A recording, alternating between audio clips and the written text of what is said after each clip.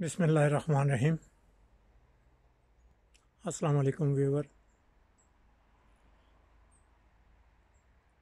तुम ऐसे ग़ुलाम हो कि जब ज़माना तुम्हारे जंग आलूदियाँ जंग आलूदा बेड़ियाँ उतार कर, चमकदार बेड़ियाँ पहना देता है।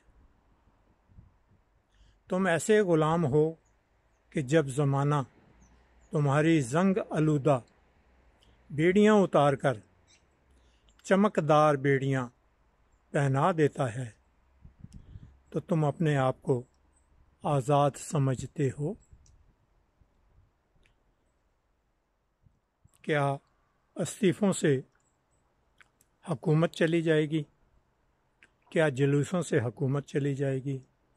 क्या धरनों से हकूमत चली जाएगी? और क्या जलसे करने से हुकूमत चली जाएगी? ये कोई हरबा नहीं है। ये कोई जायज़ हरबा नहीं है। ये चंद लोग, यानी पाँच परसेंट भी नहीं इसको आप गिन सकते।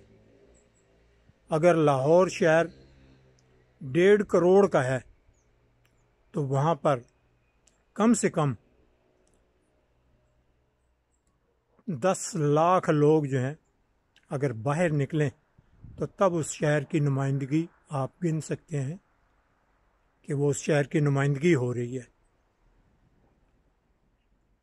आप देखें कि जब पनामा का केस आया था, उस टाइम दुनिया भर में एहतजाज हुआ अपने अपने सरबराहान के बारे में। तो आइसलैंड में, क्योंकि उसकी वहाँ की टोटल आबादी जो है वो दस लाख है। दस लाख की आबादी में आप देखें कि सिर्फ़ तीन लाख लोग, यानी उसका तीस परसेंट तीस परसेंट जो है वो निकल आया था तो उसके वज़ी अजम ने इस्तीफ़ा दे दिया था। आप हमारे मुल्क में देख लें, मुल्तान को देख लें, क्या सात हज़ार का जलसा है और कह रहे हैं जी कि हम हुकूमत को पलट देंगे। पाँच हज़ार का जलसा है पिशावर में तो कह रहे हैं हम हुकूमत को पलट देंगे। एक तो ना वो लोकल हैं और पचास शहरों से अगर आप लेके आए हैं तो वो उसकी गिनती तो वन परसेंट भी नहीं बनती।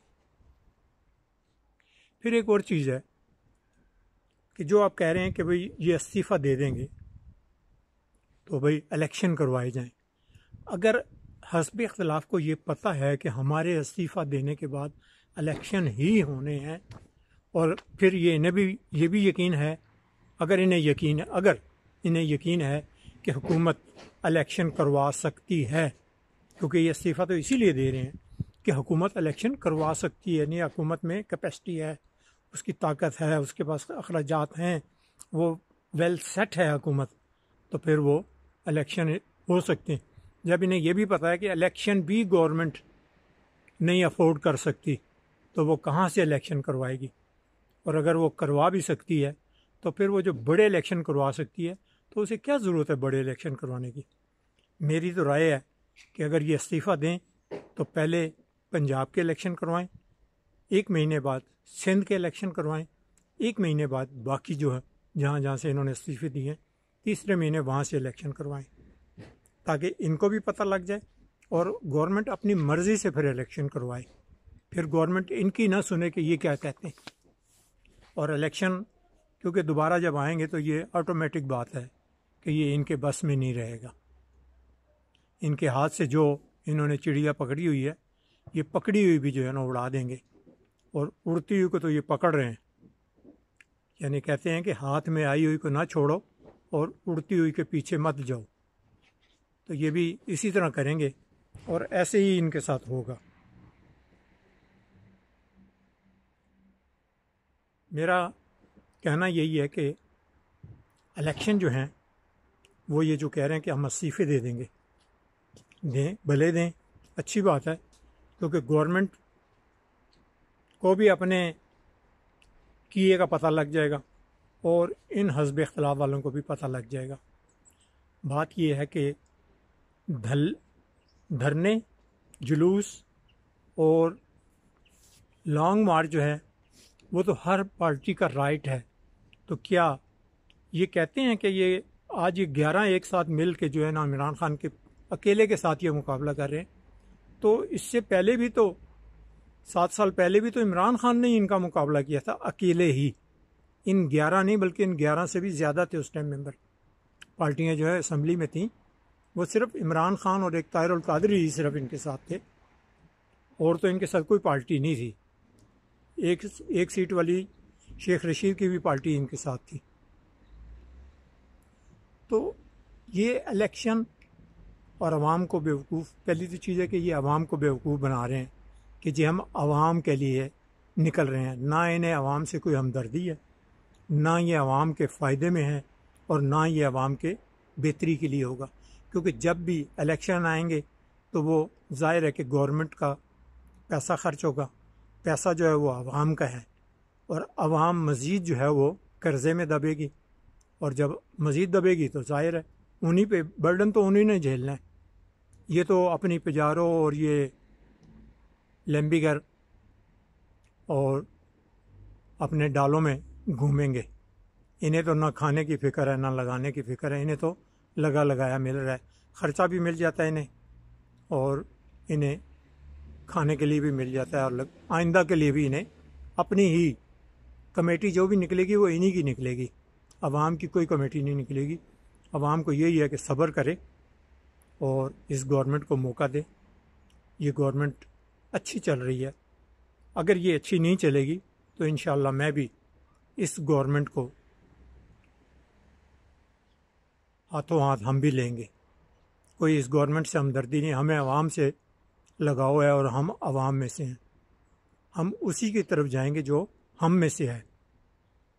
ना नवाज़ शरीफ की गवर्नमेंट हमें कुछ खाने को देती है, ना इमरान खान की गवर्नमेंट हमें कुछ खाने को देगी और ना आइंदा आने वाले। लेकिन हमें बेहतर ये देखना चाहिए कि इन सियासतदानों के पीछे तो नहीं लगना चाहिए, लेकिन इनको ये भी रास्ता ज़रूर अवाम ही दिखाएँ कि ये आप लोग गलत रास्ता इख्तियार कर रहे हैं। मेरी ओवरसीज पाकिस्तानियों से भी दरख्वास्त है कि वो ये जो टीवी चैनल पे जो बिकाऊ बंदे बैठे होते हैं और जो आवाम को उल्टा सबक पढ़ा रहे होते हैं और जो उन्हें डरा रहे होते हैं, इनके चैनलों को मत देखें। इनके प्रोग्रामों को मत देखें, मत इनको लाइक करें, इनका बल्कि बाइकाट करें और ख़ुद अपने तौर पर जो जो इजहार राय है, अगर आज आप नहीं बोलेंगे तो कल आने वाली नस्लें आपसे पूछेंगी कि आपने मुँह पे ताला डाला हुआ था, आज हमारे लिए तुम्हारी तरफ़ से क्या तोहफा है?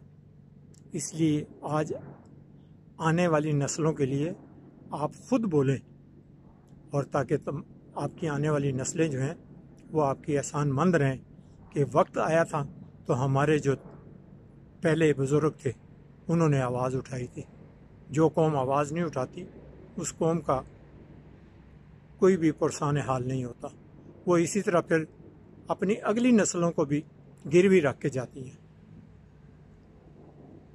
मुझे दुआओं में याद रखिएगा और मेरे चैनल को सब्सक्राइब कीजिए। और पसंद आए तो लाइक कीजिए और शेयर भी कीजिए। मुझे इजाज़त दीजिए। फ़ी अमान अल्लाह। अल्लाह हाफिज़।